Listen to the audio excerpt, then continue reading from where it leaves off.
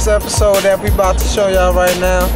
Took a trip down to Miami, Miami, Florida, for the Source Awards, and uh, we had a, a hell of a good time, man. And I ain't just gonna give all the, the ins and outs of the whole episode, man, but trust me, we had a good time, you know what I'm saying? Doing it up, baby. Yeah, man. Job was like that. Y'all pay attention, man. Stay tuned. It's coming at you.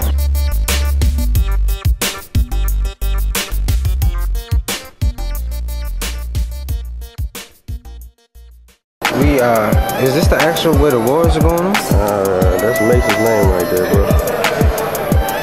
I believe so. This is it. We're in a place to be. Hey, no tickets, man. This is the spot, man. This is where the Source Awards is happening. We're gonna be in here for a rehearsal. Y'all gonna get to see everything.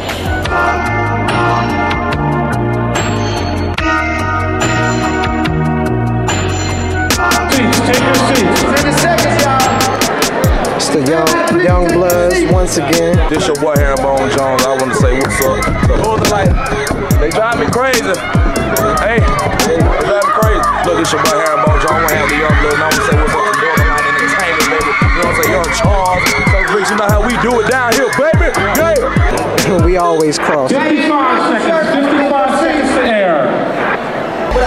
What y'all seeing right now is the top VIP room. I mean, you got to be a celebrity to be up in this joint.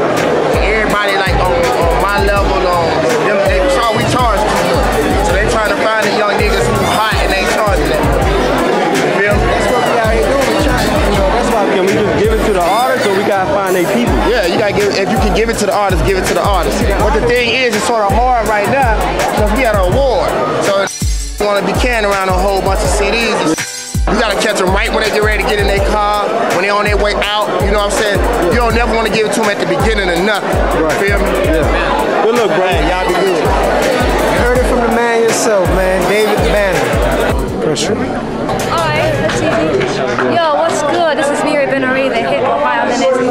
Watching Northern Light Production and Beyond. Give it up for Twista.